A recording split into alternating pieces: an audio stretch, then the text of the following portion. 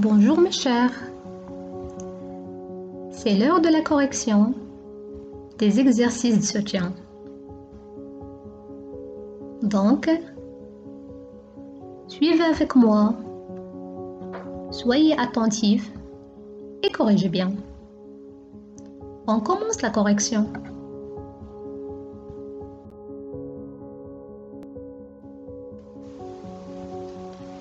Exercice numéro 1. Je pose et j'effectue. Voici la première opération. C'est une opération de soustraction, c'est très bien.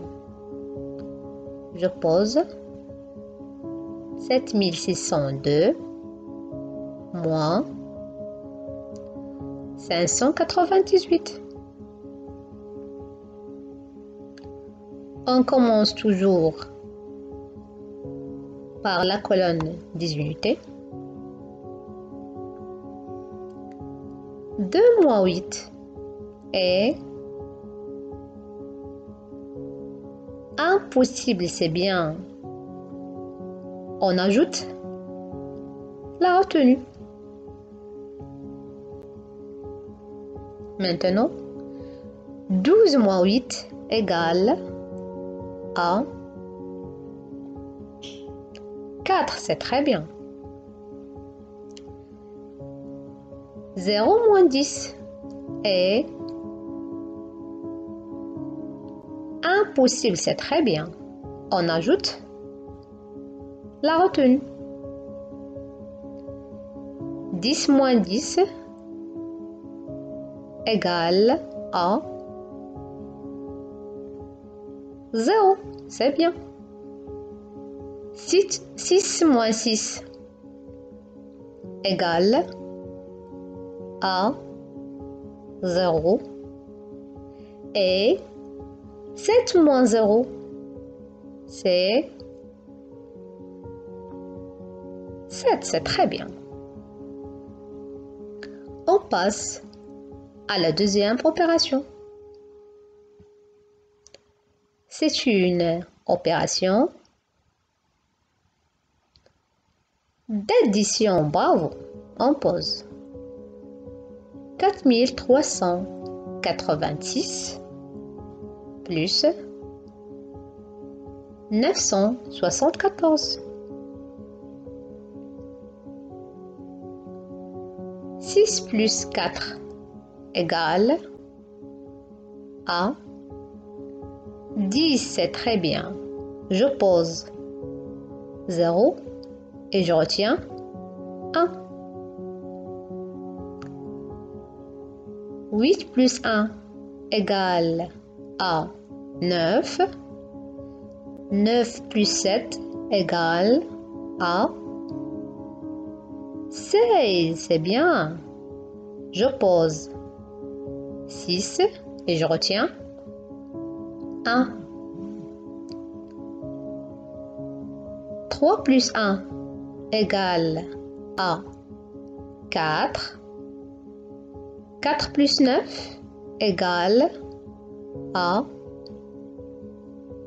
13. C'est très bien. Je pose 3 et je retiens 1. 4 plus 1 égale à 5. C'est bien. Et 5 plus 0, c'est 5. 4386 plus 974 égale 5360.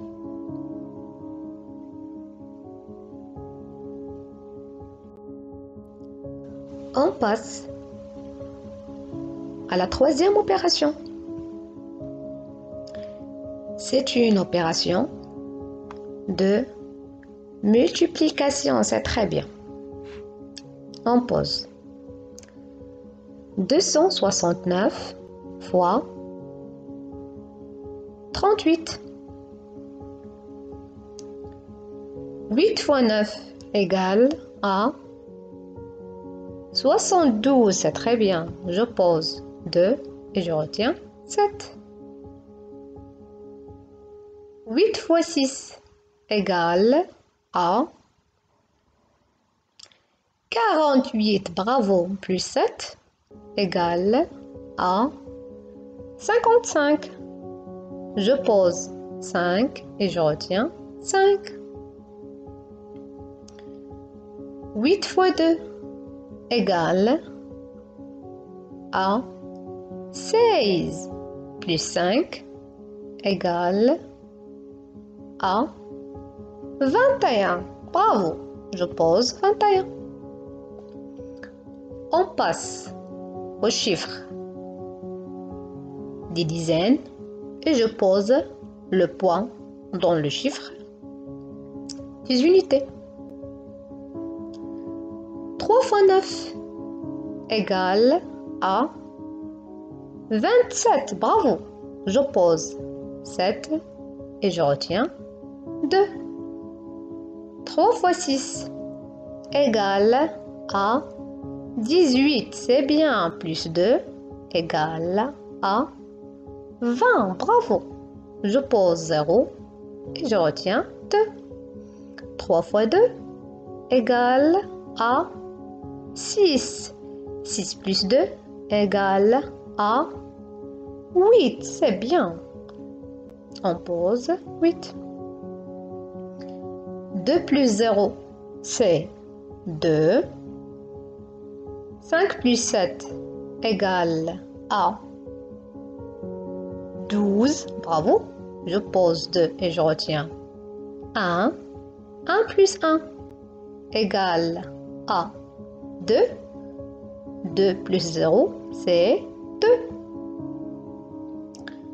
2 plus 8 égale à 10. Bravo. Donc, 269 fois 38 égale 10 222. On passe à la quatrième opération. C'est une opération de division. Bravo, on pose. 945 divisé par 4. À votre avis, on doit écrire la table de multiplication de quel nombre? Oui, c'est bien. On doit écrire la table de multiplication de 4. On commence par le chiffre des centaines. Si c'est 9, on cherche le multiple le plus proche et petit ou égal à 9.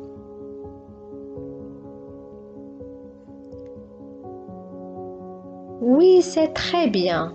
C'est 8. On pose 2 dans le question. 2 fois 4 égale à 8. Et on calcule. 9 moins 8 égale à 1. On abaisse le 4. On a maintenant 14. On cherche le multiple le plus proche et petit ou égal à 14. Oui, c'est bien, c'est 12. On pose 3. 3 fois 4 égale à 12. 4 moins 2 égale à 2. 1 moins 1 égale à 0. On abaisse le 5.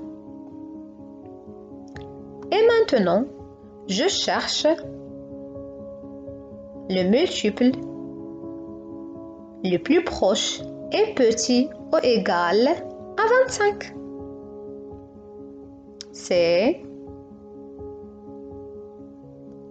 24. Bravo.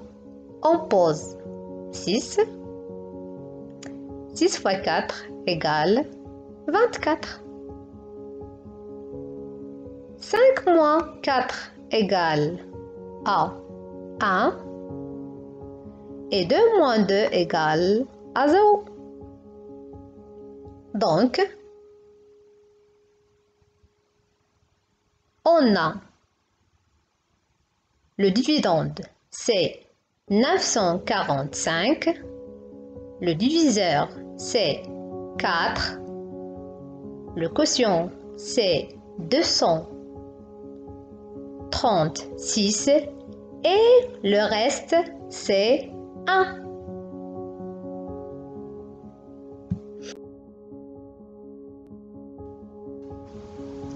Exercice 2. Je calcule les fractions suivantes. On a 3 sur 7 plus 6 sur 7. Qu'est-ce qu'on doit faire?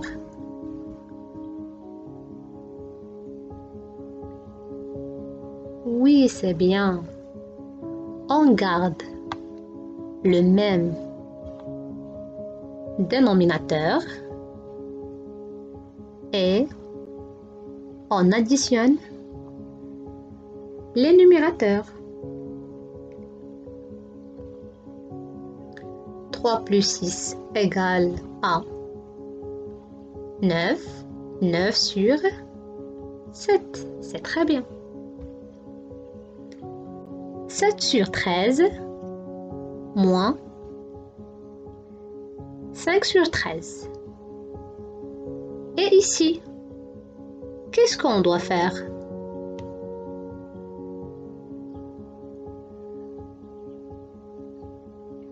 Oui, c'est bien. On garde le même dénominateur et on soustrait les numérateurs. 7 moins 5 égale à 2. 2 sur 13. Maintenant, 1 plus 2 sur 9. 1, c'est l'unité. Donc, égale à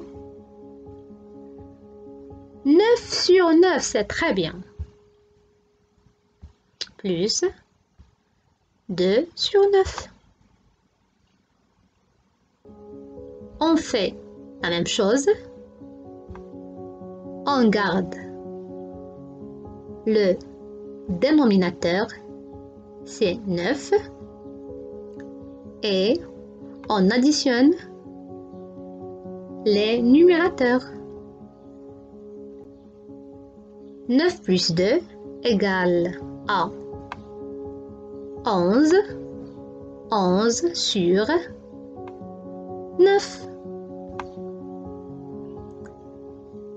9 sur 4 moins 1 égale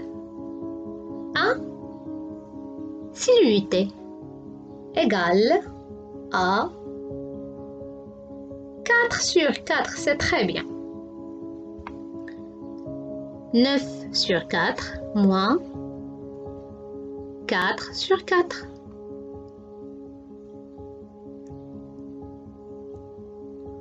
On garde le même dénominateur, c'est 4, et on soustrait les numérateurs.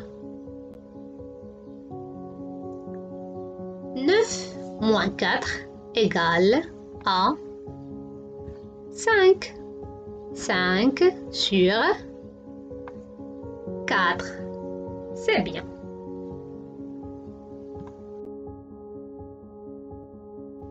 Exercice 3. je convertis à l'unité demandée. 75 quintaux moins 1407 kg égale à combien de tonnes et combien de kilogrammes? Premièrement, on trace le tableau de conversion de mesure de masse. Très bien.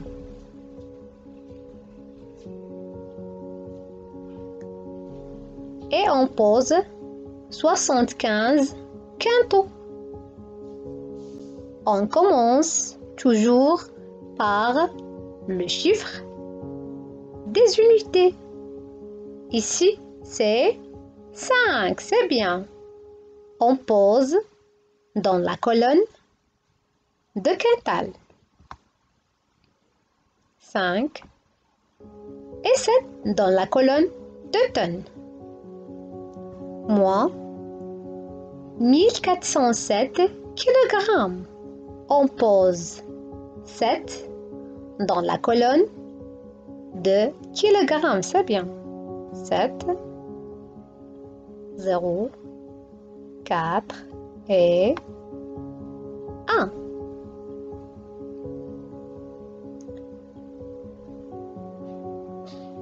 Maintenant, on doit convertir 75 quintaux en kilogrammes. Donc, on ajoute les zéros, c'est bien. Et on calcule 0 moins 7. Et impossible, c'est bien. On ajoute la retenue. 10 moins 7 égale à 3, c'est très bien. 0 moins 1 est impossible, c'est bien. On ajoute la retenue. 10 moins 1 égale à 9. Bravo. 5 moins 5 égale à 0. Et 7 moins 1 égale à 6. Alors, on a combien de tonnes? Oui, c'est bien. On a 6 tonnes. Et 93 kg.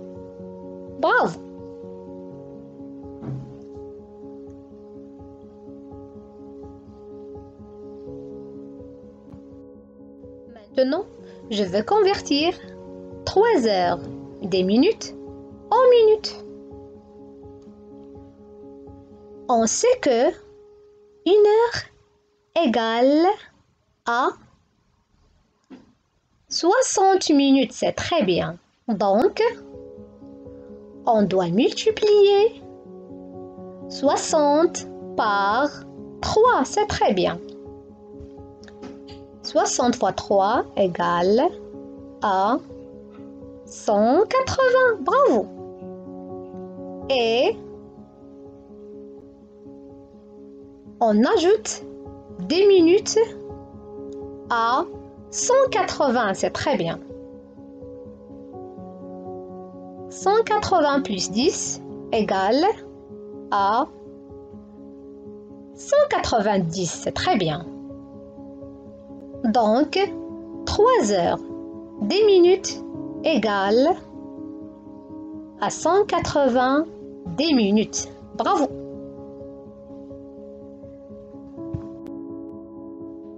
Et maintenant, on a 45 mètres plus 247 décimètres égale à combien de dicamètres et combien de centimètres? À votre avis, qu'est-ce qu'on doit faire?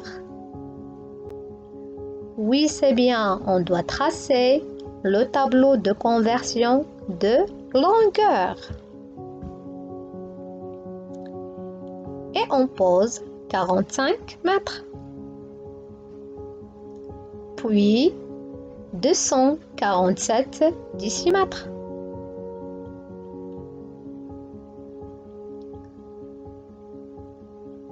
Mais avant de calculer, on doit convertir 45 mètres en décimètres. On ajoute un zéro, bravo. 0 plus 7, c'est 7. 5 plus 4, c'est 9. Et 4 plus 2 égale à 6. Très bien. On a donc 6 dicamètres, c'est très bien. Et combien de centimètres? Oui, on doit convertir 97 décimètres en centimètres. On ajoute un zéro, bravo. Donc, on trouve 970 centimètres. C'est très bien. Maintenant, 86 décalitres égale à combien de décilitres et combien de litres? Toujours on commence par tracer le tableau de conversion. Ici, c'est le tableau de conversion de mesure de capacité, c'est très bien.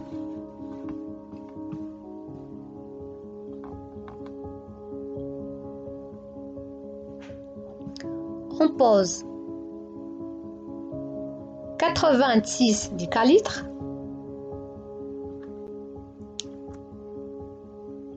et on transforme en décilitres. Donc, on ajoute les zéros, c'est très bien.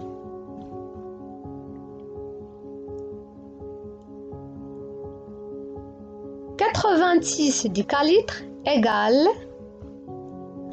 à 8600 décilitres et égal à 860 litres. Bravo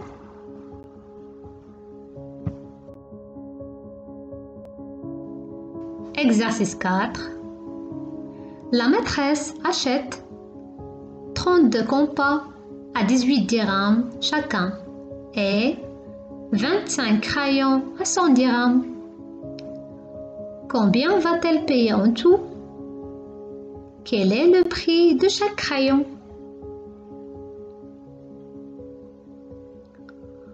On va commencer par la première question. Combien va-t-elle payer en tout? Votre avis, qu'est-ce qu'on doit faire? Oui, c'est bien.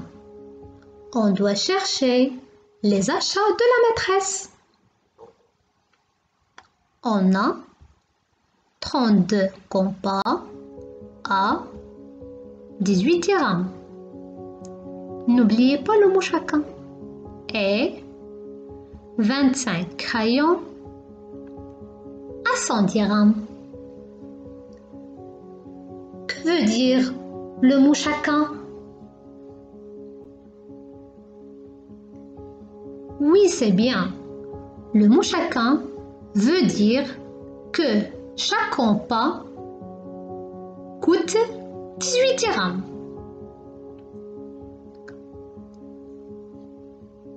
Donc, on va calculer le prix des compas.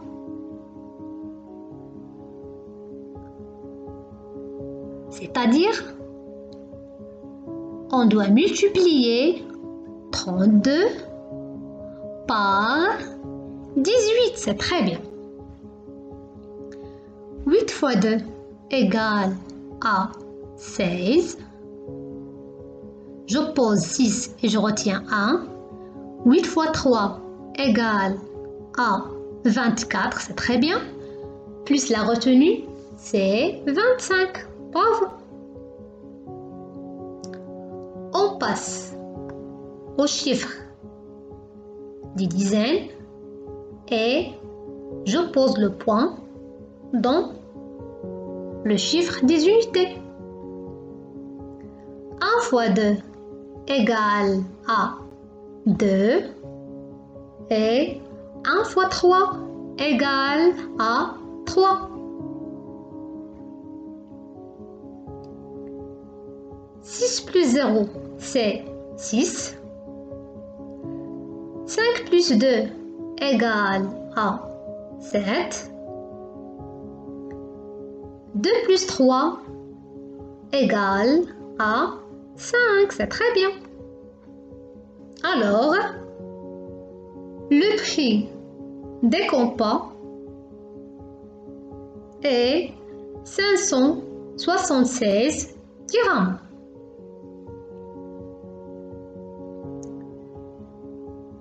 La maîtresse a acheté des compas et des crayons.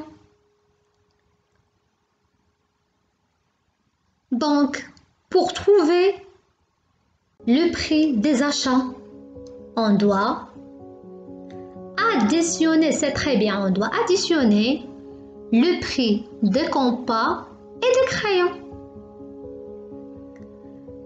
576 plus 100. 6 plus 0, c'est 6, bravo. 7 plus 0, c'est 7. Et 5 plus 1 égale à 6. La maîtresse va payer 676 dirhams. Bravo. On passe à la deuxième question. Quel est le prix de chaque crayon?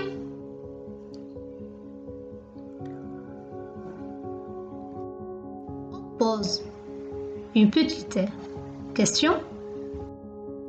Combien de crayons la maîtresse a acheté? Bravo! La maîtresse a acheté 25 crayons à 100 dirhams.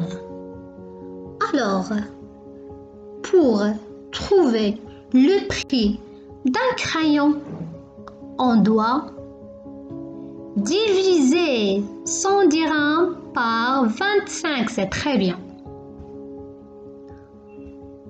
100 dirhams divisé par 25.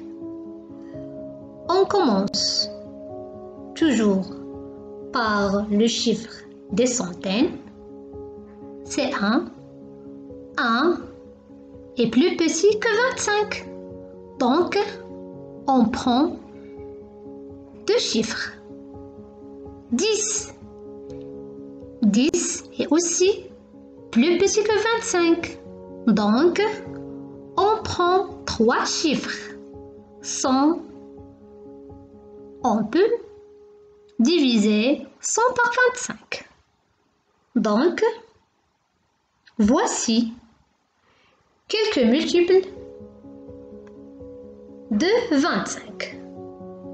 On cherche le multiple le plus proche et petit ou égal à 100.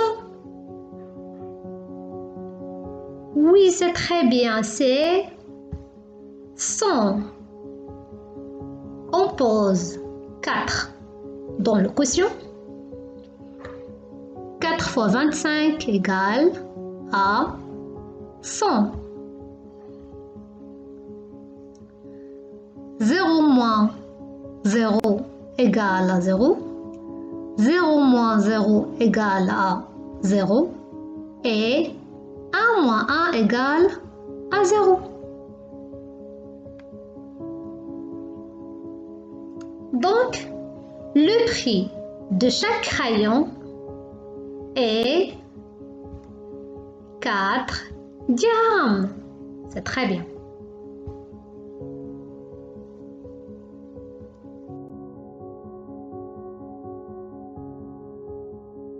Exercice 5. Je trace deux droites perpendiculaires L1 et L2 qui se coupent au point O. On commence par tracer la droite L1. C'est la droite L1.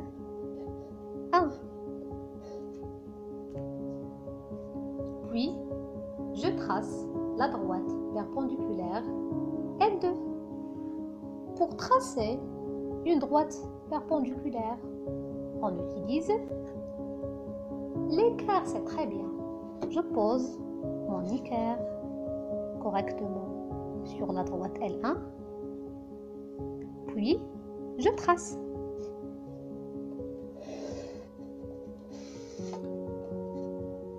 Je prends la règle pour prolonger la droite.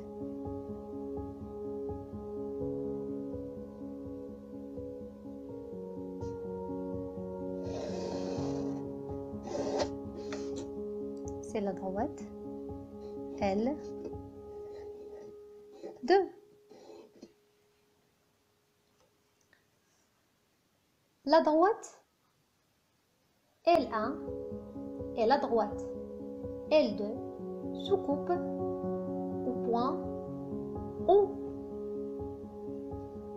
Je pose le point O. On a deux droites perpendiculaires. Maintenant, je trace le cercle centre. O qui coupe? L1 au point. A et C et L2 au point. D et B. Pour tracer un cercle, on utilise le compas, très bien. Je pose sa pointe sur le centre O, puis je tourne mon compas pour tracer le cercle. Enfin, j'obtiens le cercle de centre O. Le cercle coupe L1 au point A et C. Je pose le point A et je pose le point C. Et il coupe la droite L2 au point D et B. Le point D et le point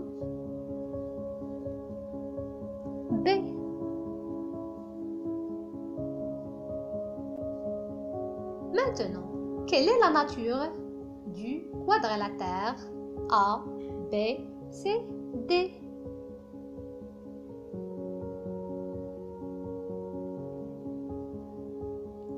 Premièrement, c'est quoi un quadrilatère Un quadrilatère est une figure géométrique à quatre côtés. Je relie les points entre eux pour obtenir le quadrilatère. A avec B, B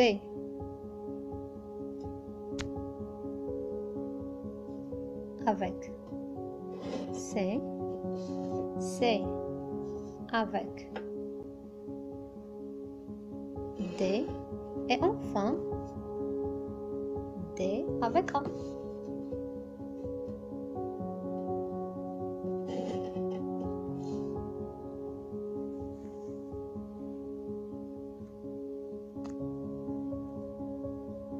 Pour répondre à la question, on doit chercher les caractéristiques de la figure.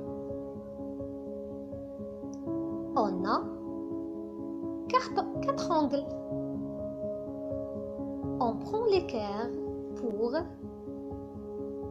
déterminer la nature de chaque angle.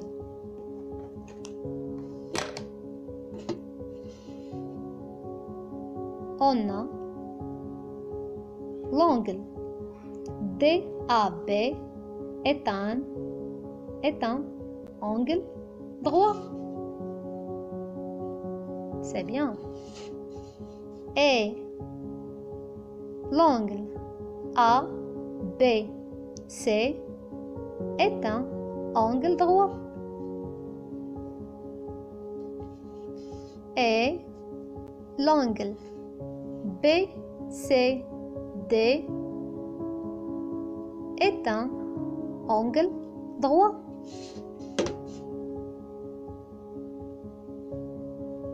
Et enfin, l'angle C, D, A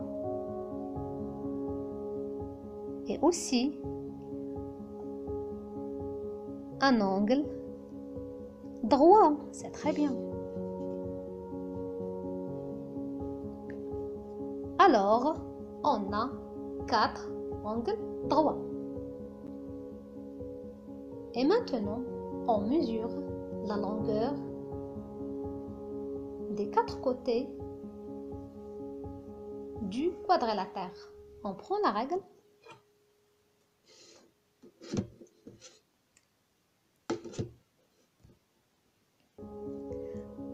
La longueur du segment AB égale à 5 cm. Bravo. La longueur du segment AD égale à 5 cm.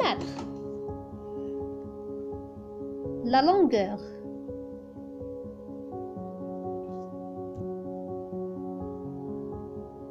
du segment DC égale à 5 cm. Et enfin, la longueur du segment BC égale aussi à 5 cm. Alors, les quatre côtés AB et BC et CD et DA de même longueur.